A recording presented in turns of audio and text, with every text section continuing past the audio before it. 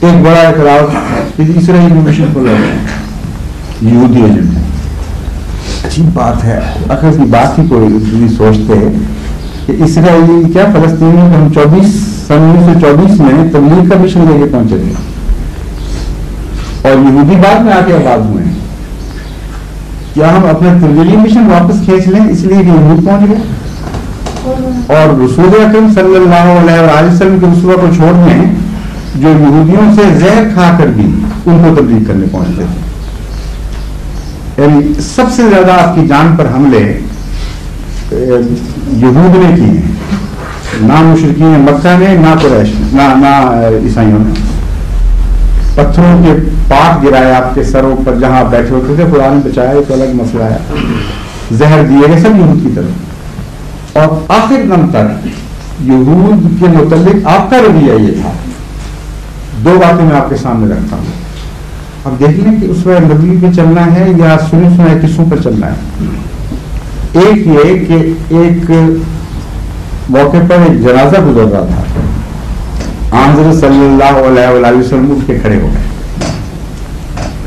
کسی نے سمجھا کہ حضرت صلی اللہ علیہ وسلم کو پتہ ہی نہیں وہ کس کا جنازہ ہے۔ آپ نے اس میں عرض کیا، یا رسول اللہ، آپ کھڑے ہو گئے ہیں، یہ تو یہودی کا جنازہ ہے۔ آپ نے سمجھا وہ انسان نہیں شان ہے۔ انسان عاشق ہو جائے، یہ ہے اخلاق۔ اس کو اس وقت محمدی کہتے ہیں، جس جو سورج کی طرح، ساری دنیا کی تاریخ کو روشن کرنے والا اس میں سلوک یہ اور دوسری طرف بیٹھے ہوئے مجلس میں مسائل کی گفتگو ہو رہی ہے۔ ایک پیغام ملتا ہے ایک عورت کا کہ اس میں تو محمد کا نام تھا وہ کوئی نام نہیں لاتی تھی یہودیہ تھی۔ پیغام یہ بھیجا۔ کہ مجھے پتا ہے کہ میرے بچے کو آپ سے پیار ہے اور آپ اس سے پیار کرتے ہیں۔ ہے وہ یہودی بچہ۔ مسلمان نہیں ہے۔ لیکن اس وقت حالت یہ ہے کہ وہ جان پنے کی حالت میں ہے اور کسی وقت بھی مر سکتا ہے۔ تو اگر آپ کو خیال ہو کہ آپ اسے دیکھنا چاہیں تو آپ تشریف لیں جاتے تھے مرنے سے پہلے اس کو دیکھ لیں۔ آن صلی اللہ علیہ وسلم ایک روایت ہے کہ پیغام سنتے ہی کھڑے ہو گئے۔ میں اس کو ترک کر دیا اور سیدھا اس یہودی کے گھر پہنچے۔ بچہ واقعی نزا کی قریب پہنچا ہوا تھا، آخری حالت میں تھا۔ اور جاتے اس سے یہ فرمایا کہ بیٹا، کیا تم یہ پسند نہیں کرو گے کہ مسلمان ہونے کی حالت میں جانتا؟ اس نے سر سے اشارہ کیا کہ ہاں میں یہ پسند کروں گا۔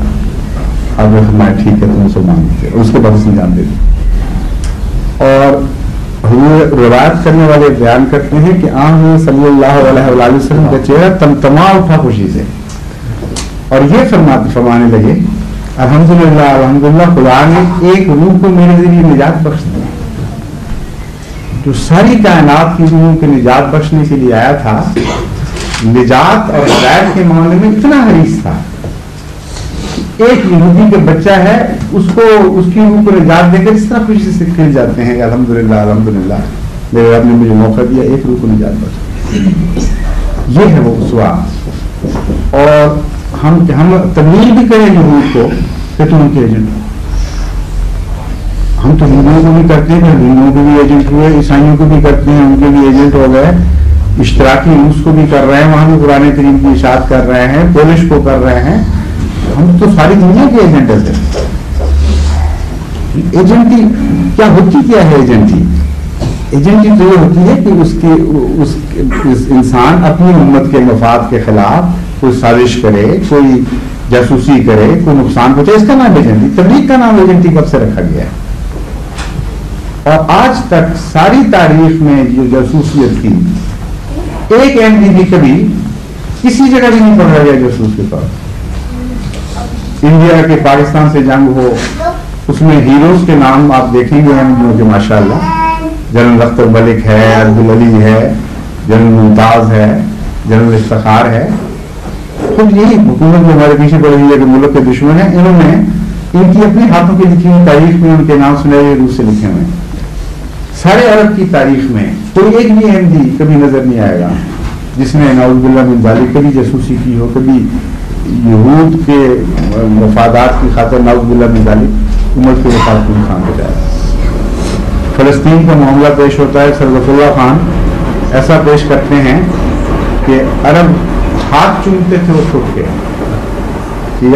سیاست ہی کیا کہ مخاطب کرتے تھے کہتے تھے آپ نے حق ادا کر دیا اور ان کے اخبارات نے بڑے بڑے اس پر آرٹیکل لکھے۔ آج پاکستان کی حکومت کہہ رہی ہے کہ یہ ظفر اللہ خان نے فلسطین کے مفاد کو بھی ختم کر دیا، کشمیر کے مفاد کو بھی ختم کر دیا۔